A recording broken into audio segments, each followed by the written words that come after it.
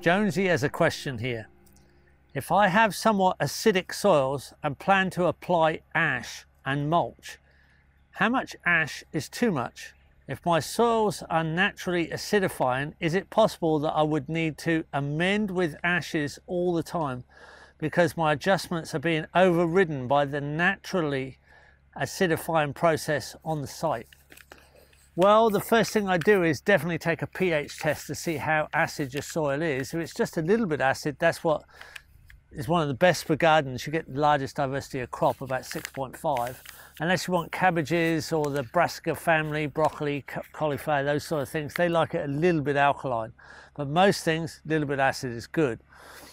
So I'd take a pH test and add your, your ashes and see whether you do actually get much correction at all. You might have to start with lime or, or dolomite.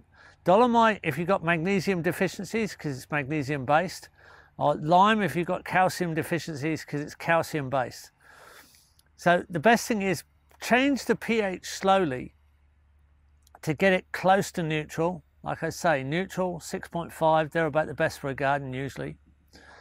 And then, then with your mulch, it should stay there. If you're adding mulch regularly, if you're putting mulch down on the soil, if you're, if you're using cover crops and cutting them and dropping them as mulch, if you're using worm castings, compost, compost teas, worm juices, these things, these elements that feed the organisms in the soil, maintain the pH. It's really bringing the soil alive that maintains the pH close to neutral.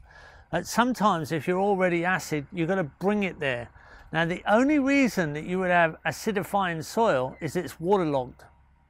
If it's waterlogged, then raised beds are the way to go. So get, if it is because there is a high water table or it's continuously waterlogged for some reason, you're in low swampy country, get up into raised beds, change the pH, then hold it there with organic matter, mulches, and feeding the soil with life-rich elements.